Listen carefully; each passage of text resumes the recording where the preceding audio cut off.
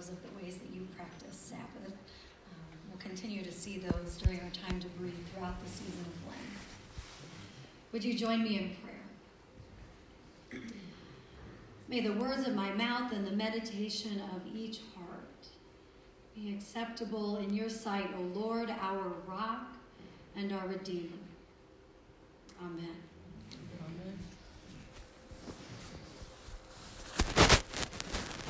Sometimes a name outlives a person. Elvis has left the building. Used to be announced at the end of Elvis Presley concerts to encourage his hysterical fans to accept the fact that there would be no further performance. It was, in fact, time to go home. The first known use of Elvis has left the building was printed in the Detroit Times in November of 1956. Presley gave his guitar a final bang, flung it from his shoulder, and fled the stage seconds ahead of the mob. Outside, a car waited with door open and motor running. By this time, his press agent, Oscar Davis, was on the stage. He grabbed the microphone and yelled, Elvis has left the building! Hold it, hold it, Elvis is gone! Now we say Elvis has left the building more widely to indicate that someone has made their exit or that something is now complete.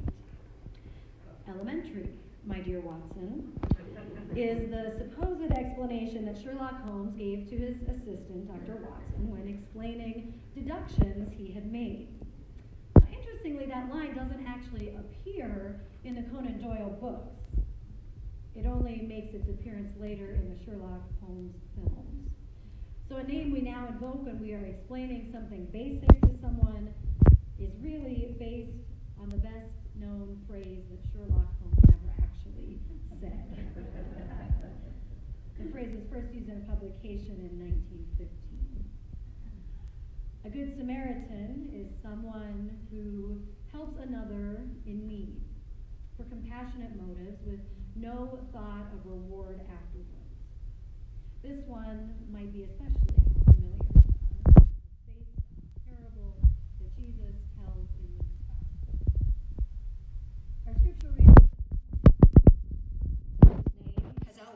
although I think I would rather be called a good Samaritan than a Nicodemite. Nicodemus was a member of the Sanhedrin, the ruling council in Jerusalem, who was at least a little bit sympathetic to Jesus. Nicodemus is a Greek name that means the people's victory. Nicodemus, as Daniel explained to our kids, was identified as a Pharisee. Now, at that time, during Jesus' lifetime, about two thirds of the Sanhedrin uh, would have been Sadducees, and about one third would have been Pharisees. So, in other words, Nicodemus uh, was part of the minority faction within the Sanhedrin. Although by the time John's gospel was actually written down 60 years later, um, there were no more Sadducees. The Sanhedrin was 100% Pharisees. Nicodemus was considered a leader of the Judeans, which places him firmly in the camp of those who were opposed to Jesus. In the fourth gospel, a Judean frame of mind represents temple corruption and divide and conquer attitude, setting Samaritans against Jews, for example. More on that next week when we hear the story of the woman at the well. If there was to be support for Jesus in the Sanhedrin, however, it would not be surprising for that support to come from someone who identified as a Pharisee. Jesus had much more in common with the Pharisees than with the upper class Sadducees.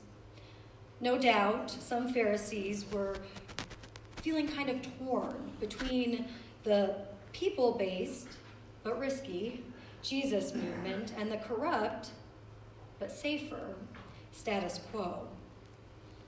So, what is Nicodemus's legacy? How does his name live on? Well, let's introduce you to him and we'll find out. Jesus is meeting him for the first time, too.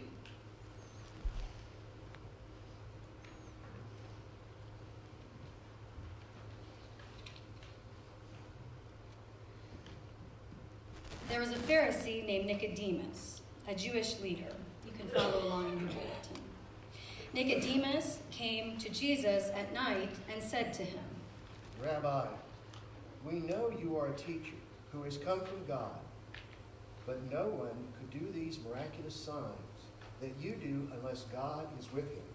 Jesus answered, I assure you, unless someone is born anew, it's not possible to see God's kingdom.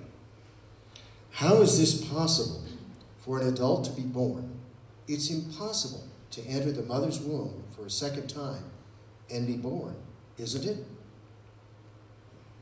I assure you, unless someone is born of water and the Spirit, it's not possible to enter God's kingdom. Whatever is born of the flesh is flesh, and whatever is born of the Spirit is spirit.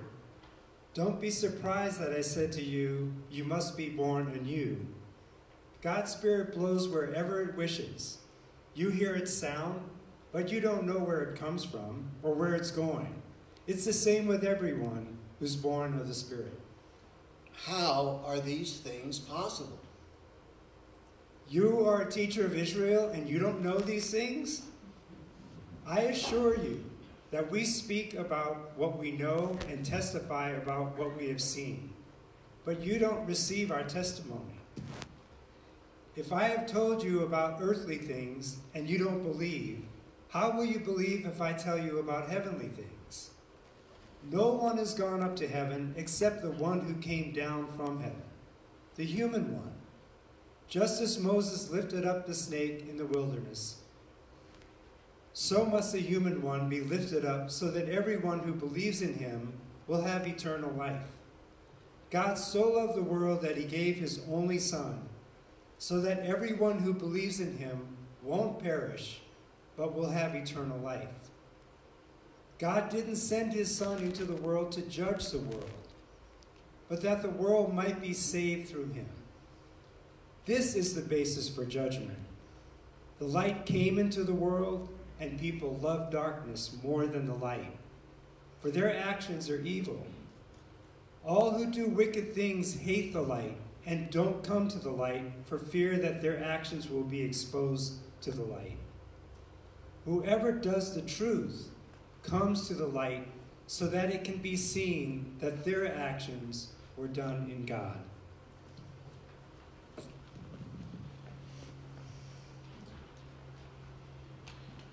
The word of God for the people of God. Thanks be to God. John of Patmos writes seven letters to the churches in Asia. We call that the book of Revelation, the last book of the Bible, that has been the subject of endless speculation in both theological circles and pop culture ones. John of Patmos warned his listeners to beware of the Nicolaitans. Nicolaitans were Christians who were willing to offer worship to pagan and Roman gods in order to remain unnoticed, if not tolerated, in a non Christian world.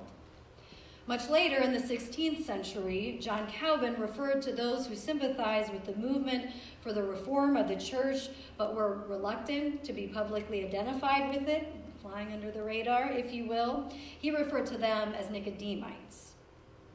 I also read this week that in the midst of National Socialism, Nicodemus's heirs, the German Christians, sought to accommodate the gospel to the racism and anti Semitism of Nazi ideology.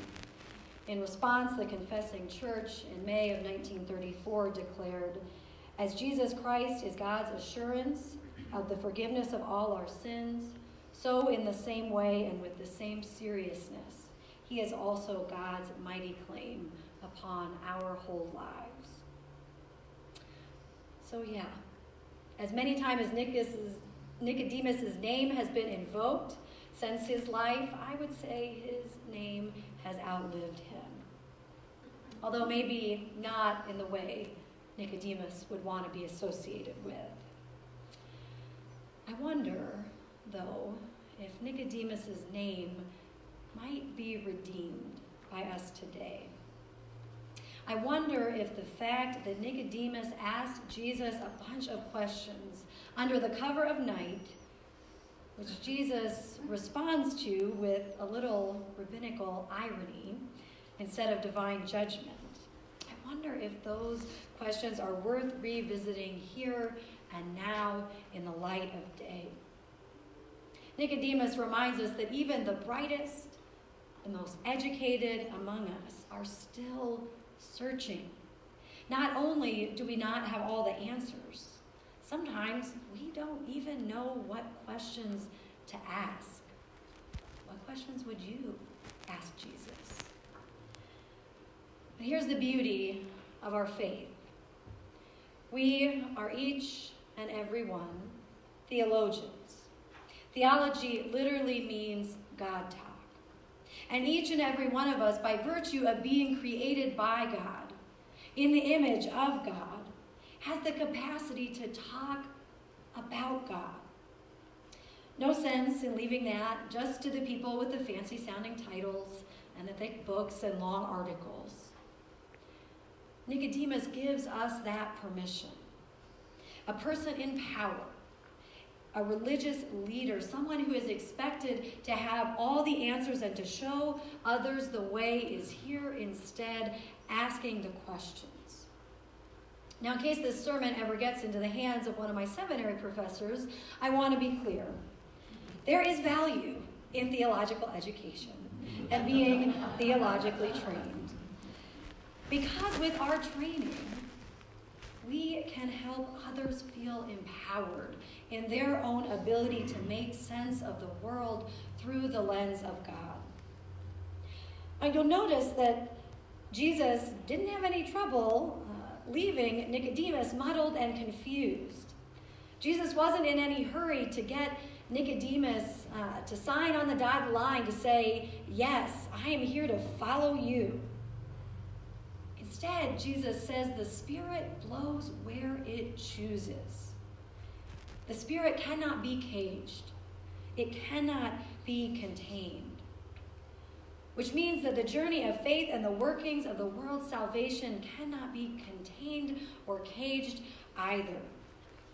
When we speak of God's kingdom, Debie Thomas writes, we are in a realm of deep mystery. It's okay to be surprised. It's okay to be stricken. It's okay to take our time. In her 2013 book, Christianity After Religion, historian Diana Butler Bass points out that the English word believe comes from the German word belieben. In German, belieben means love. So Thomas explains to believe is not to hold an opinion. To believe is to treasure, to hold something beloved, to give our hearts over without reservation. To believe in something is to invest our love in it. That's so good. I didn't come up with it. That's why I can say that, but I'm going to say it again. To believe is not to hold an opinion. To believe is to treasure, to hold something beloved, to give our hearts over without reservation. To believe in something is to invest in it with our love. In John's gospel, being born from above and believing in Jesus are not so much about what does with one's mind about what we do with our hearts, with our lives. Those who do what is true come to the light so that it may be clearly seen that their deeds have been done in God, Jesus says. In John's gospel, believing and doing are inseparable. As Mumford and Sons sing, where you invest your love, you invest your life. Well, Nicodemus hovers on the margins and on the margins and in the shadows of John's story. He is, is slow to invest and he is quick to slip away. Of course, he's neither the first in the church nor will he be the last to follow Jesus from afar. from a safe distance. Now, to, Nicodemus's credit, there is no doubt it would have been difficult, if not downright dangerous, for Nicodemus to follow Jesus publicly during the light of day. We can't forget that Nicodemus in this story represents the religious establishment. At first, they seem to just be a, a nuisance to Jesus, but later on, they really became a political problem and a threat. But we should remember this too about Nicodemus. Nicodemus shows up two more times in John's gospel.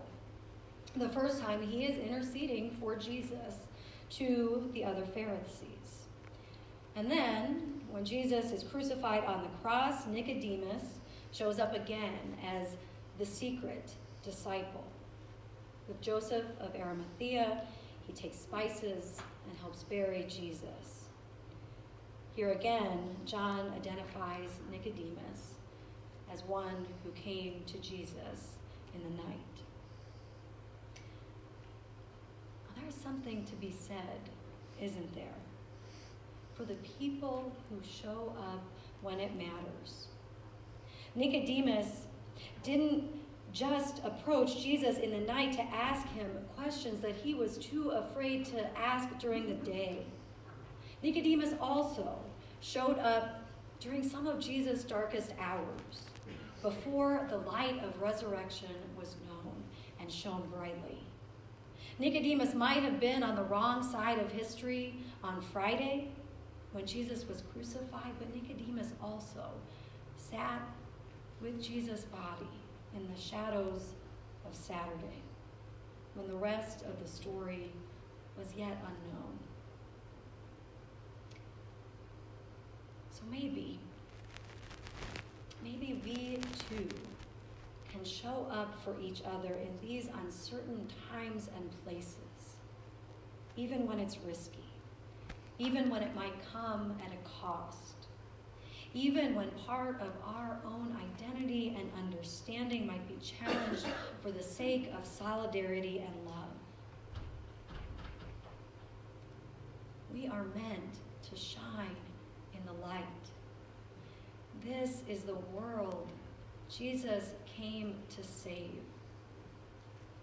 This is the world God so loves.